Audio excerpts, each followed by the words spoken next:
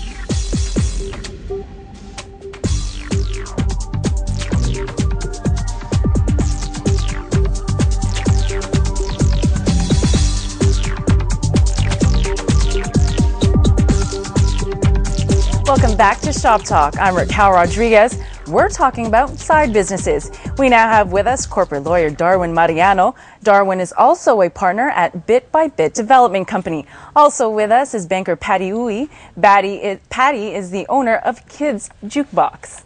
Thank you for joining us on the show today. Thank you. Now, Darwin, Thank attorney you. Darwin. Thank you. Tell us how an attorney like yourself decided to get into a side business like Bit by Bit, and tell us what Bit by Bit is all about.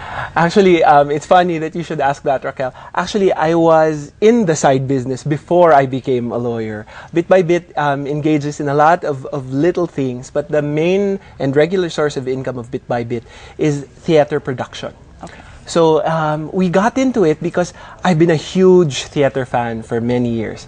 But I don't have any art in my body. I'm not at all artistic. Um, so, but we wanted to find a way to support um, local theater because we, we were so impressed by the talent that we have here. So, more than 10 years ago, we stumbled across, we watched a production that we loved. And we started buying entire shows from the theater producers and then um, at a discounted rate and then sell the tickets at face value in order to make to make money on the margins. So that's more or less how, how, how I got involved in this. I guess it's because really I'm a huge theater fan. Perfect. And Patty, Kids Jukebox. I saw a little peek earlier about the little sample that you've brought in for us today. How did you get into the Kids Jukebox side business? Actually, this side business, um, it happened as an accident. Two years ago, my husband and I, I went to the U.S. for a vacation, and we stumbled upon a cart selling personalized CDs for kids. At that time, our daughter, whose name is Audrey, was just one year old, and we decided to buy for her a CD. When she listened to it, she was looking for Barney, and um, she was so happy. And not only was she happy, but also us parents. So when we got back to Manila, we decided to look for um, something similar to what we bought, and we stumbled upon Kids Jukebox, and everything started from there. Wow. So now you're a third generation banker, correct? That's right. How does this sort of side business reward what you're doing? So basically, my real job is uh, uh, I'm an operation. I'm in charge of operations for a rural bank. The name of our bank is MVSM Bank, and it's based in Marikina. So that's what I do the whole day, basically Mondays to Fridays, and then we have orders for kids jukebox during the day, also like through our online orders and over the phone, and we make the CDs at night. Me and my husband, and we join bazaars on weekends, like Saturdays and Sundays. So that's how I balance my time for both businesses. Awesome. And now, Darwin, we know that you're a theater lover. Yes. And this is something you love doing bit by bit. How does this play into your day to day lawyer main source of income? Actually, it's completely different from what I have to do on a daily basis. Um, but what it does provide me is, yun nga, it's it's it's like a, a little safe place that you can retreat to every time you're stressed from work or that things become too um, crazy. You're able to. It sort of inspires you to. To, to keep on going because you're doing something that you love. Fortunately for us, um, theatrical productions are staged at night or on weekends. So a lot of the ticket selling to our friends and to our families happen over the phone at night or through online media now. And when we started, we didn't have Facebook to help us promote. Now you have Facebook, now you have um, Twitter, now you have YouTube, and all these very, very useful, very convenient tools for, for show producers and ticket sellers like us.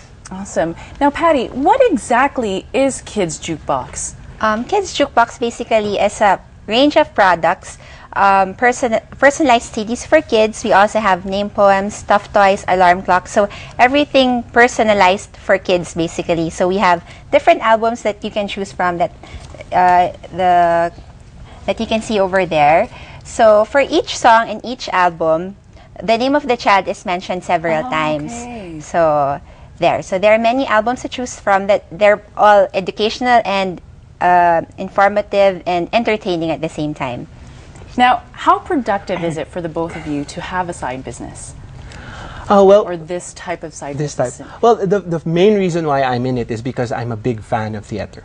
If if I if I broke even, uh, if I didn't make any money, but would continue to see beautiful theater being staged in this country, that would be a reward in itself. But I guess if you love something, you tend to be good at it, you tend to be successful, and with the success comes the financial rewards. Okay. So that sort of helps pay to sustain the love for theater. So we can keep sustaining, we can keep helping um, local theater companies stage beautiful productions precisely because of the financial success of, of the side business. Okay, and for you, Patty, For how me- productive is um, Kids Jukebox? Well, productive because, well, let's talk about rewards. For me, what I find rewarding about this business is the smile and the happiness that it brings to my daughter's Right. face and to the children um, all around. So, what I think is um, what makes us happy is listening to these CDs, and at the same time, it's profitable also. Um, at the end of the day, it's extra income for the family. Right. Now, with your day jobs as a banker and a public relations rep, what are the challenges with having a side business? Well, I think Butch mentioned it very clearly um, in the earlier segment. Um, time management has to be very important, and you have to be um, very disciplined with the way you, you divide your time. You don't want your career, which in my case is my work um, for Cemex, to suffer as a result of my love for theater because they sort of help each other out. It, it keeps me going. My love for theater keeps me going. But at the same time, my commitment to my career allows me to, to pay for the tickets of, of the shows that I want to be able to watch both here and abroad. So it helps, but I guess the biggest challenge really is time management, and you must make sure that your priorities are always very, very clear. I agree with him. It's really time management, being a mom, a banker, uh, having many roles. Um, this kids jukebox for me is like a, something like uh, rest or uh, something that's really fun to do. That's why I still do it despite the fact that I have a lot of other things to do. So basically, time management and really being responsible over all the things and tasks that you have to do. Wow. Now, any advice for those who are also looking to start up their own side business? Um, for me, my advice would be if you have a, a certain hobby or if you enjoy doing something and you think you can make it something profitable, you should uh, get into it, give it a try. You can start simple first.